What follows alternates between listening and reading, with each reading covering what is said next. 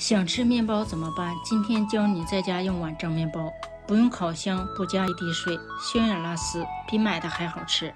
首先准备三个鸡蛋，三克酵母粉，五十克白糖，搅拌均匀，放入二百五十克左右面粉，搅成絮状，再放入二十克食用油，移到案板上推拉揉搓，揉成一个光滑细腻的面团。密封醒发至两倍大。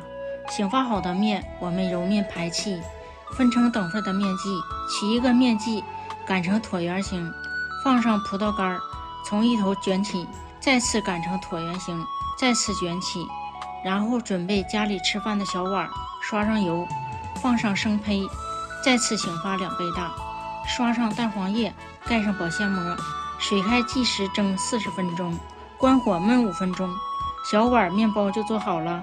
渲染拉丝，不用烤箱，不加一滴水，比买的还好吃，全家人特别喜欢。